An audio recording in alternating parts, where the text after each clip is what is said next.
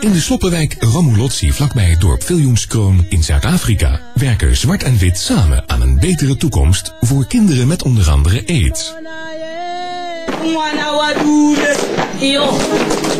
In het programma van deze maand, Windows of Hope, nemen we jou mee naar het bijzondere werk van de Stichting Kinderen van Viljoenskroon.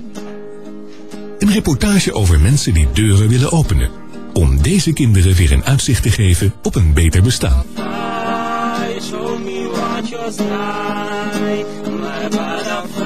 Windows of Hope. Iedere vrijdagavond om half tien op Goed TV.